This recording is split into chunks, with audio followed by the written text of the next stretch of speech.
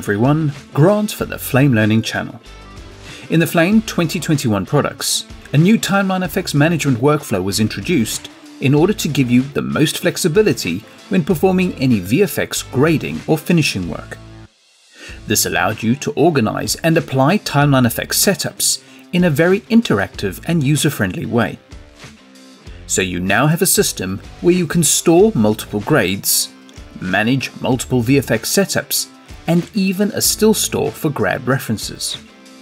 There is so much potential, and this workflow has been further enhanced with the Flame 2021.1 update. This video will focus on the basics of creating and applying timeline effect setups, as well as the overall implementation of the workflow to help you better understand how it works. And in the later videos, we'll expand into greater detail regarding organization, selectives, image comparisons, and much more. This training is not footage specific, so please use your own media to follow along. Starting in the timeline environment, I have a straightforward edit that already contains a few timeline effects for my finishing sequence. To dig into a timeline effects, you would select a segment and switch to the effects environment. Now you could be working on an effect or creating a grade, and you would like to save these timeline effects as reusable setups. So as part of the timeline effects management workflow, you have a panel to the right known as the Explorer which is mainly dedicated to timeline effects setups. Please note that this is not the media panel.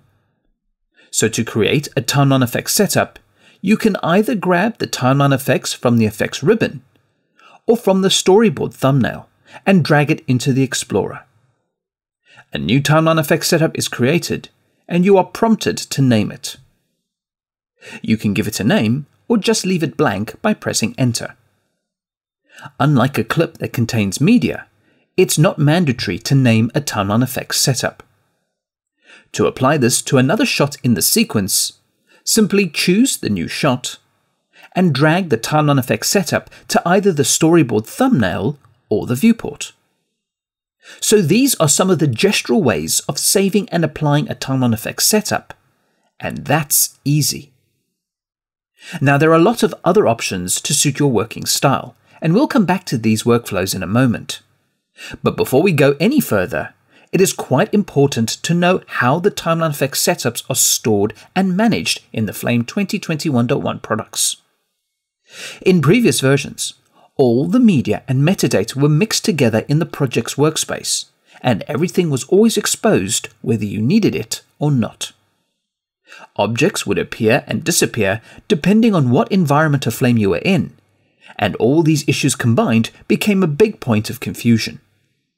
So, to help with clarity, as well as offer new and improved workflows for all of you, as of version 2021, anything that is regarded as metadata is now separated out from the media panel. This refers to timeline effects setups and grabbed reference images. So all the timeline effects setups are now visible in the Explorer which is available everywhere in the Flame 2021.1 products. For example, looking at the timeline environment, you can enable the Explorer using the Flame main menu or press Meta Command Escape. You can also gesturally access it with Control Swipe. This works in any view if you want to see the Explorer or not so creating and applying timeline effects setups is also available in the timeline environment. There will be an extra video on how the Explorer works in each of the different interfaces. But the point I'd like to stress is that the setups are saved in a separate library known as the Timeline Effects Library. So in terms of grading and VFX, you have a focused area just for timeline effects setups, and it also introduces a new level of organization just for setups. So you can identify any timeline effects setup or grabbed image reference without media getting in the way. Having said that, there are two exceptions where you may encounter a timeline effect setup in the media panel.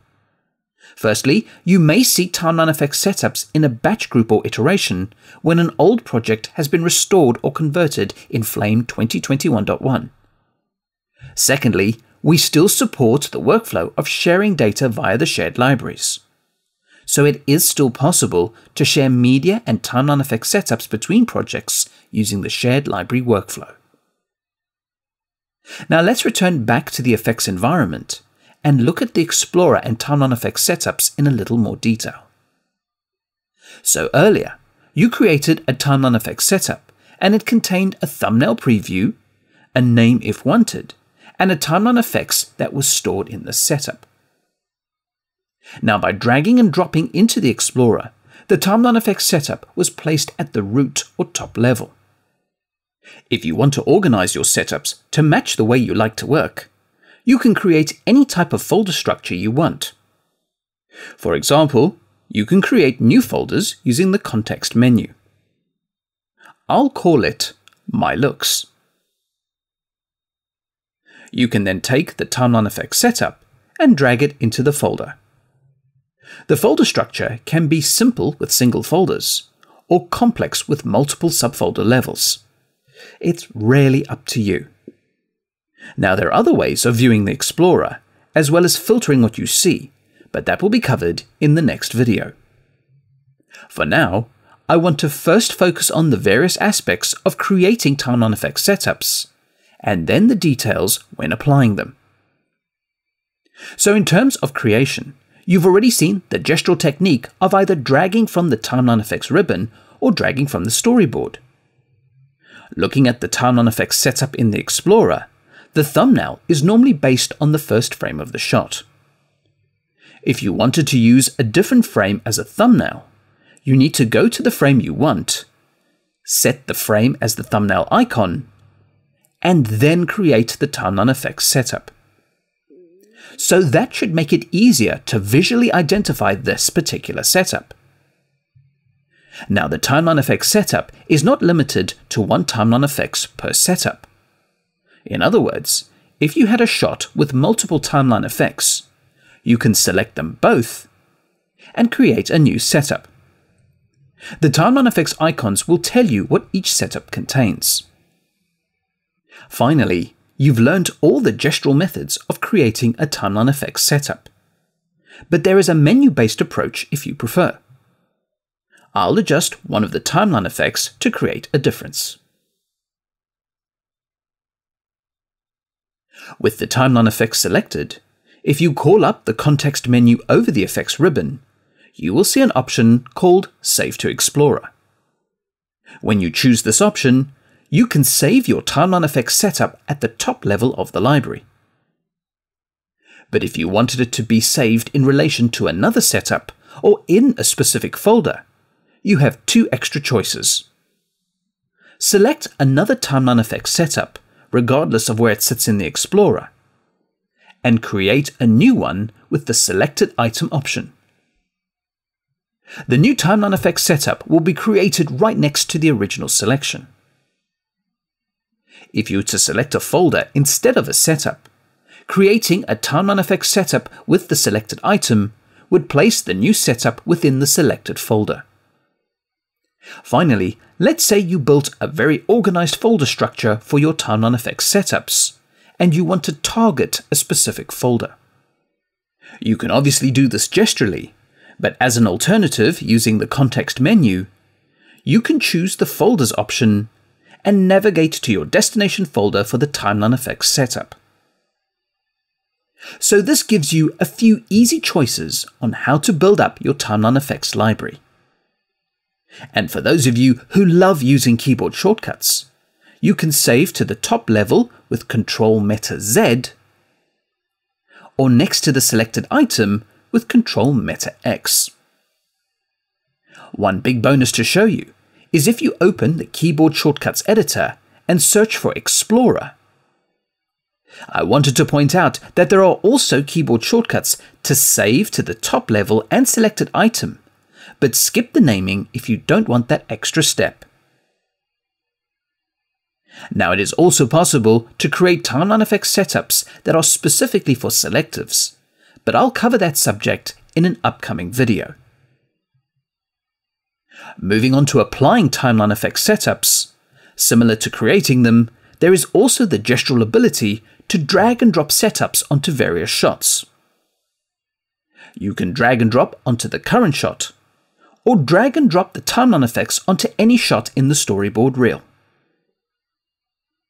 If you wanted to apply the timeline effects setup to multiple clips, you need to select them first, and then drag and drop the timeline effects setup. Everything I have shown you with regards to the storyboard reel will also apply to the storyboard view. Another gestural way to apply a timeline effects to a shot is via the viewport. For example, you navigate to a shot and drop your timeline effects onto the viewport. This works the same as dropping setups onto the storyboard reel. However, it is only focused on the current selection, which is what you see in the viewport. So if you want to apply a timeline effects setup to a multi-selection of shots in the storyboard, you drag and drop on the storyboard selection and not the viewport. So it's a very visual and intuitive way of working. Now there are multiple ways of using the effects environment with a sequence, and I want to highlight two workflows you could use with drag and dropping setups into the viewport. The first workflow is focusing on one shot at a time as you click through the shots in the storyboard. It does not matter if you're looking at the result view or the storyboard context view. You are able to drag and drop timeline effect setups onto the viewport. The second workflow is having the entire sequence visible in the time bar, and you can view the entire sequence in the viewport without touching the storyboard. This can also work very well, but it needs to be set up correctly in order to drag and drop to the viewport in this workflow. For example, using the player pull-down menu, choose either the timeline or storyboard range. Ensure you are looking at the storyboard context view in the viewport. When you scrub the sequence, every shot is available under the cursor. Now when it comes to drag and drop on the viewport, two criteria need to be met. Firstly, you need to see the shot in the viewport. And secondly, the shot you see in the viewport needs to be the primary selection. If you scrub to a shot and it is not selected, the drag and drop in the viewport will be prevented. So to ensure that the shot you see is always selected, you can do one of two things. By holding shift and dragging the time bar, will automatically select the shot you scrub to. The second option is if you want the selection on scrub to be active constantly. Go to the Preferences menu and choose the Tools TLFX tab. Under the Effects time bar, enable Auto Select on Scrub. When you close the preferences and scrub to any shot, it will be displayed in the viewport and it is automatically selected. With both criteria met, you can easily drag and drop a timeline effect setup into the viewport. And as a small reminder, in case you missed it, drag and drop to the storyboard still works in any workflow. I'll go ahead and switch back to a single shot workflow with segment range, and we'll look at the last workflow of applying timeline effects. This is probably the fastest way of applying a timeline effect setup to a shot just double click it. And this applies the timeline effects to the current selection. This is very handy for quick swapping effects or trying different grades or VFX. Once again, this only works for the current selection unless you drag the setup to a multi-selection of shots in the storyboard reel. Now for those of you using a grading panel, a lot of this functionality is mapped to the panel, and please refer to the online documentation for further information. The last topic before moving on to the next video is how to manage the timeline effects setups with projects and archives. Well, the great news is that the timeline effects setups are still part of the project, so they can be archived as well as transferred between systems using the Explorer in the Media Hub. For anyone restoring a project from an older version of Flame, any existing timeline effects setups located in the workspace will be moved to the Explorer, which contains the Timeline Effects library. Any organizational structure around the original Timeline Effects setup will be rebuilt to maintain what you had in the earlier versions of Flame. As I mentioned earlier, you may find a Timeline Effects setup in an old batch group or iteration, but this still can be used in the current project. Once again, please check the online documentation for more detailed information. In the next video, you'll take a deep dive into organizing the timeline effects setups in the Explorer, as well as filtering the setups to streamline the Explorer as you work. Don't forget to check out the other features, workflows, and enhancements to the Flame 2021.1 update. Comments, feedback, and suggestions are always welcome and appreciated. Please subscribe to the Flame Learning channel and click the bell to be notified for future videos. Thanks for watching and hope to see you soon.